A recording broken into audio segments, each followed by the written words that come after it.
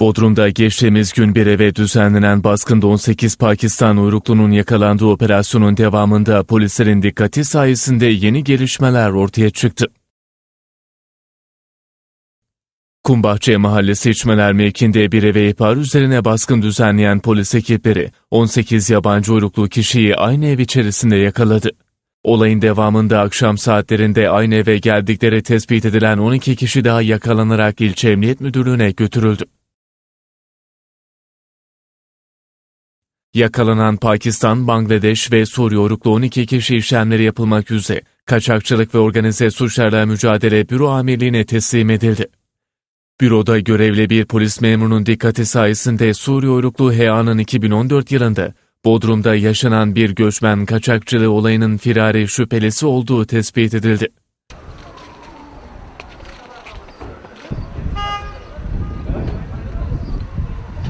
Bodrum Kombür Amirliğince yürütülen çalışmalar doğrultusunda 2 yıl önce hakkında göçmen kaçakçılığı suçundan işlem yapılan ve son olayda sahte pasaportta yakalanan Suriye uyruklu MTD ekiplerin dikkatinden kaçmadı. Yapılan parmak izi araştırmasının ardından gerçek kimliği tespit edilen MT'nin Burdur cezaevinden firar etti. İki ayrı göçmen kaçakçılığı suçundan arandığı anlaşıldı. İşlemleri tamamlanan MT ve HA isimli Suriyeliler öğlen saatlerinde adliyeye sevk edildi.